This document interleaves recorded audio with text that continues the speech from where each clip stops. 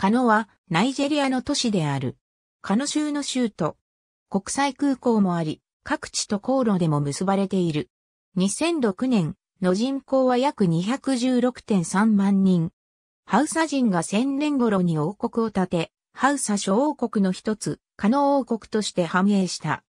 12世紀頃より、ムスリム商人の活動に伴って、イスラーム化が進んだと考えられる。サハラ縦断貿易の要所であり、金、塩、奴隷、象牙などを扱う交易拠点として発展した。15世紀に土で作られた城壁が拡張された。城壁は現在も残されている。1805年、カノシ彫国が成立。1809年、他のハウサ諸国と同じくフラニ帝国によって征服される。19世紀より西欧の探検家が侵入するようになる。19世紀末にはこの地でカノ年代記が生まれ、ハウサ諸王国の歴史を伝える貴重な資料となっている。20世紀初頭よりイギリスによる植民地化が進んだ。1912年にはカノとラゴスを結ぶ鉄道が開通した。1953年、ヨルバ族とイボ族の間で EN、カノラヨットオブ1953が起こった。1960年、ナイジェリアがイギリスから独立した。カノは北部州に編入された。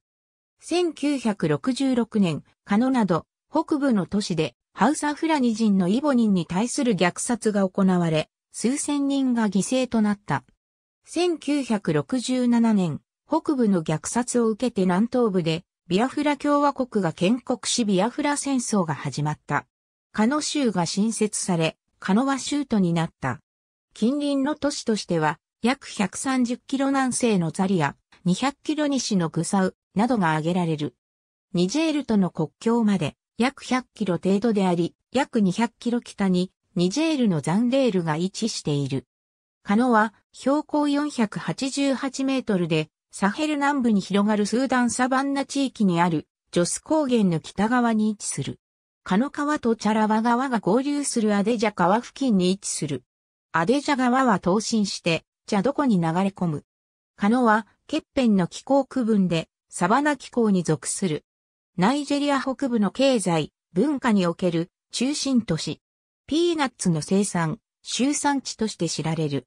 ラゴスまでの鉄道は長らく荒廃して運行が停止されていたが2012年に再開されている。